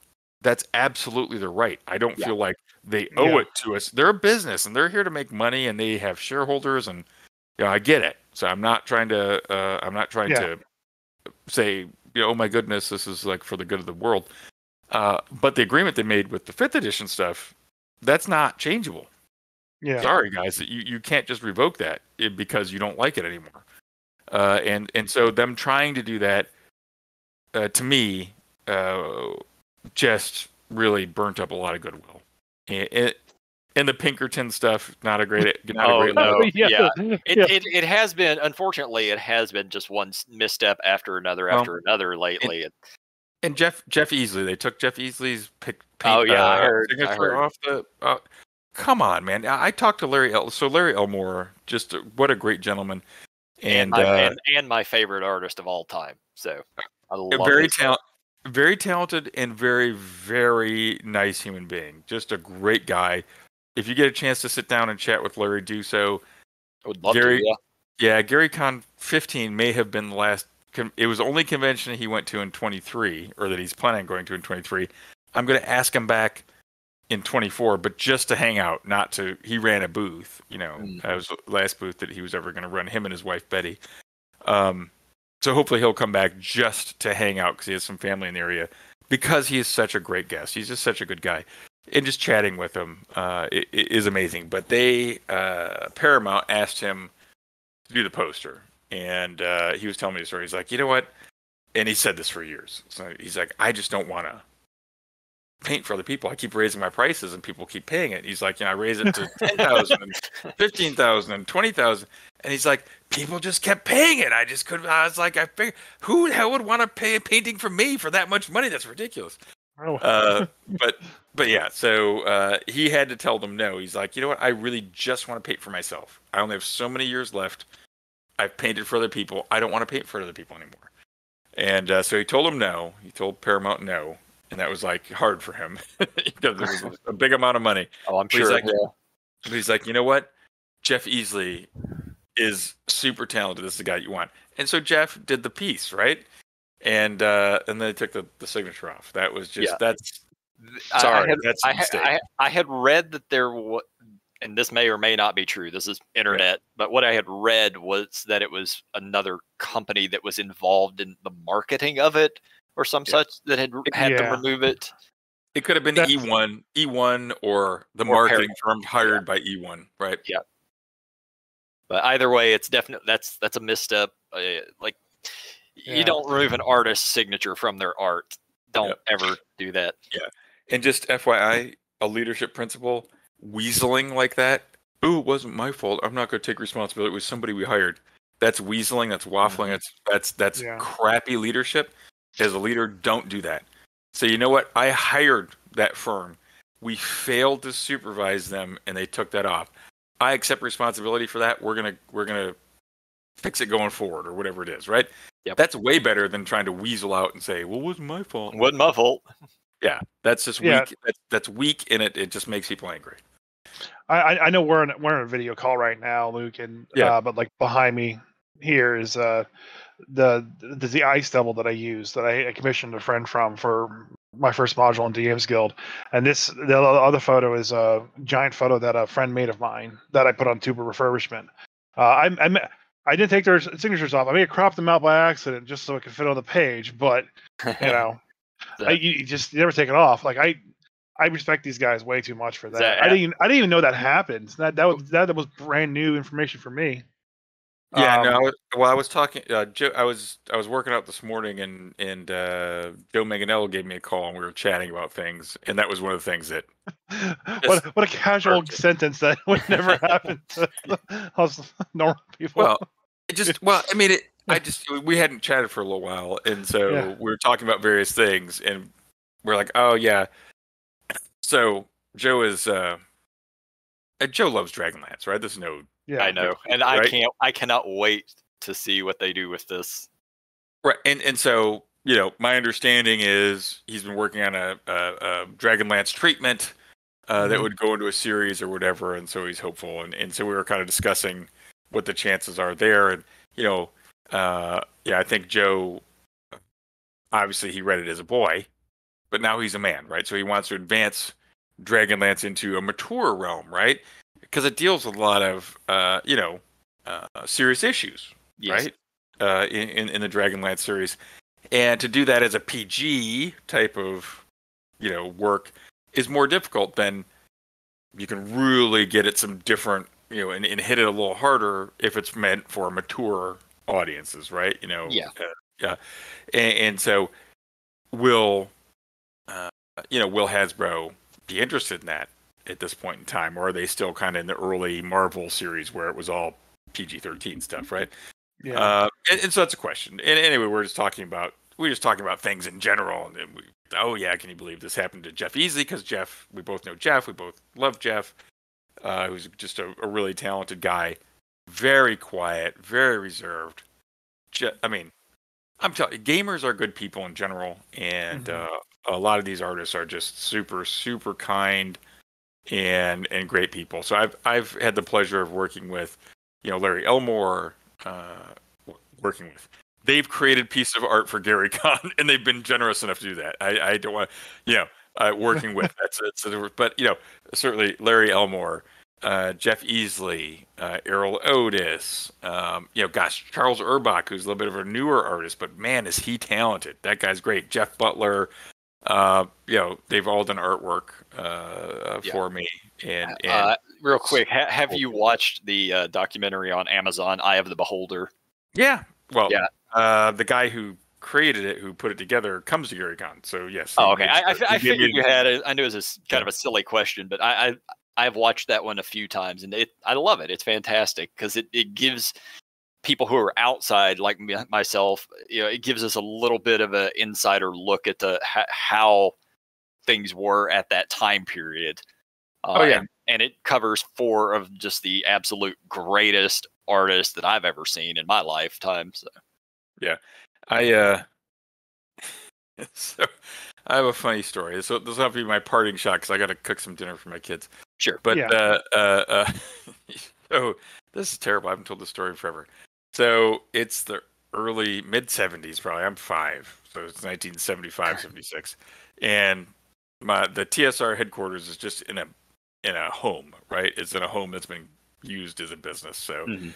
uh, upstairs there's a back room with uh, two drafting tables, and it's Dave Sutherland and Dave Trampier, uh, who are sitting at and they're facing each other at these you know drafting boards, facing one another. And then there's a desk. I think Tom Wham sat at that desk, and a little sofa that was kind of to the side. So.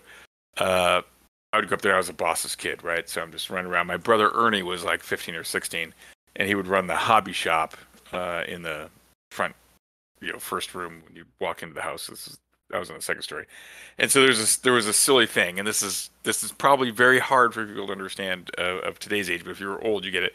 You would you would play a game where you would you would hit somebody in the groin as if another another man, right? And- we we know this game. right, this right. guy. So, right, but this is something we don't share usually uh, publicly. So it's very silly, and obviously we don't. I don't encourage this today, or No, or- no. and I think it's completely out of out of bounds in today's rules and, and that sort of thing. So I do not encourage this and advocate this in any any way, shape, or form. But my brother would call it goomphing, so which is a silly word, goomph, right? Just because I think it's the sound you'd make if you got hit in the That's- groin, right? Yeah, that's accurate. Yeah. And so he said, "Hey, I bet you can't. Uh, uh, I bet you know. Uh, just I, I want you to check this out. I want you to to goomph Dave Sutherland." And I was like, "Well, I can't do that. He's a big guy. He's an adult." And he's like, "Check it out. Go ahead and tell him you can tie his hands, and then go ahead and tie his hands with rope, and then say, okay, get out.' And then he's gonna try to untie the knots and just punch him in the in the groin, right?" So I'm the boss's kid. I'm five. He walks in. He says, "Yeah." He's like, "Hey, can, I said, I'm gonna tie your hands." And, and Dave, what a nice gentleman. He's just a good guy, right? And so I tied up his hands as a five year old, and then uh, as soon as he started trying to get free, I was just like, wail, you know, like wailing your arms, like windmilling your arms at him, and he's trying to protect himself and that sort of thing. So, uh, it was very it was it was it was terrible. So he managed to hold me off and get his hands free. And my brother Ernie was falling down the ground, laughing as a 15 year old would would be want to do Yeah. in this in this. He just, he just got his little brother to do something really dumb. really really dumb. And to Dave Sutherland's credit, he was absolutely not mad at me and didn't you know yeah it could have been very easy for an adult to you know throw me across the Oh, room sure, as a yeah. little boy or something like that. What a super nice guy he was. And Dave Trampier, very funny, and Tom Wham is still around. Comes to Gary Con, so yeah. So no, these I mean these artists are just great, great people, really down to earth folks. And uh, to see Jeff Easley's name taken off something who is just the kindest guy. He's always always you know he give he's the give you the shirt off his back kind of kind of kind of guy. Uh, that just really made me upset to uh, Yep. so. So I, so here's to hoping that Wizards recognize that sort of stuff and takes a little bit more caution in in the way that they treat uh, some of the founders who are still around, like you know Ed Yeah. Greenwood. Ed Greenwood did not get a thank you in the D and D movie. Neither did Dave Arneson or my father, Yeah. uh, who created the game. So I noticed that. Um, Yeah, and I know there was a big to do with uh, Tracy Hickman and Margaret Weis. There was a, a whole Oh, yes. lawsuit that went on for a while over Dragonlance and such. But Yeah, yeah, We no, definitely- and, we- uh, we're all we're, we're here at the the Grumpy Dungeon Master side. Definitely think it's not the creatives, you know, or the people No, trying to get no, things God, no. together. Yeah, it's Nope, Margaret Weis lives in Lake Geneva and comes to pretty much every Gary Con. Tracy Hickman's been there once. He's always welcome back, but he's a very busy fellow as well. mhm. Uh, but yeah, I mean, just, just if you want to meet, I, I, they say don't meet your heroes. I would say, nope, come to GaryCon, come to Lake Geneva, uh, go wanna- to uh, yeah. GaryCon.com and, and, and meet your heroes because you know what? Pretty much all these all these folks are really really nice people. That's right. Meet your heroes and play some D and D with them. That's Yeah, and play a game with them because they'd be excited to do it. They're not uh, aloof or any of that sort of thing. All Like I said, yeah, I mean, I got to play D and D with a bunch of Joe's uh, gaming group that he brought to Gary Con, and they just came as gamers. We didn't bill them as stars, and we just yeah. Yeah, hey, they're just here- come. here to play They're- some they're- games. They get they were there to play games, but dude, they had a ball and they had a blast. And I played I played some D and D with uh, Vince Vaughn and you know Paul White. Dude, they were having so much fun. They were serious gamers, and they hung out and talked with people uh, when they bumped into them in the hallway or whatever, or around the gaming table, and swapped gaming stories, just That's like cool. you do with other people. Because Yep. guess what? They're gamers. That's well, that's what we all do. That's what we do. That's Yeah. what we love. Have you have you played at uh Joe's uh what's it, what's it called the Gary Gygax Memorial Dungeon? Not his new one. I was talking. That's what I was talking to him today about. Is we gotta we gotta figure out a time where I can get over there and play because now COVID's over. I get back there. So before COVID, to his old house, I went there and Yeah. uh, played a few times. And yeah, it's just, it was a nice setup. And he showed me pictures of his new place, like when it was all like being constructed and that sort of thing. I was like, Mhm.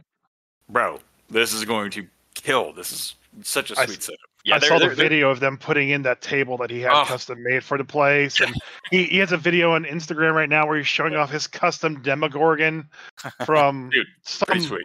Oh, Yeah. No, he's got some nice stuff. He's got some killer swag. He's got killer gamer swag. But yeah, Joe Joe is a nerd's nerd. This guy's like well steeped in nerd knowledge. I mean, he will go off on some tangents. And I'm like, damn, dude, you are a nerd. That's like stuff. Yeah. That's what we love. Yeah. All right. Uh, So, re- you, you do have to go. So we do want to get the the one Craig fact from you that we ask all of our guests. One quick fact for Craig that Well, you would I like think- to add to him. Yeah, I think Craig Craig uh, I mean, he's kind of quiet, but I heard the glass tinking a few times. I think he's drinking uh, a lot of scotch during these shows. So uh, Scotch he's, drinker. a, he's a big fan of the Speyside uh, scotches. That's that's what I heard about Craig. Yeah.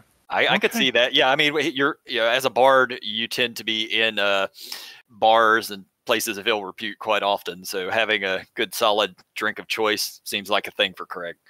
Absolutely. Well, thank you very much for coming out and talking with us. Um, it's been a huge pleasure. Um, and, and it was really exciting to just hear all the stories. And you're welcome back whenever you like. Um, And maybe maybe if things work out, we'll see you at Gary Con hopefully next Yep. year. Oh yeah. I'd Oh, love yeah. to see you guys. Yeah, you, you you should make it out, dude. I mean, you, you'll see me in the hallway, and I'll probably be like, "Hey guys, that's how's it going?" And because I'm like swamped at GaryCon, but Yeah. but you will have a good time, and you will meet lots of good people, and I'd be shocked if you don't get several guests that would come on come on your show and make those connections Mhm. i- i- in that sort of stuff. So it would be well worth it. And honestly, if you're doing this, you could probably write it off as a business expense somehow. We So- could. yes, we I'm, I'm just I'm just learning how all that works. so No, definitely learn it. It's it's totally worth it because Yeah. saves you on the tax end, right? Whatever your Yeah. tax bracket is, as an LLC or however you're doing business. Uh, yeah, it's important. And and knowing that stuff. Believe me, know the business things. My dad didn't know the business stuff, and it bit him in the tail pretty hard. So yeah, yeah, that's it's a good lesson. Yeah, we're we're Well- learning and we're learning quick. Well, again, thank you very much, and I um, hope to talk to you again soon. Yep. all right, guys, Later. Thanks much. Bye. take care, man. Bye bye. Bye.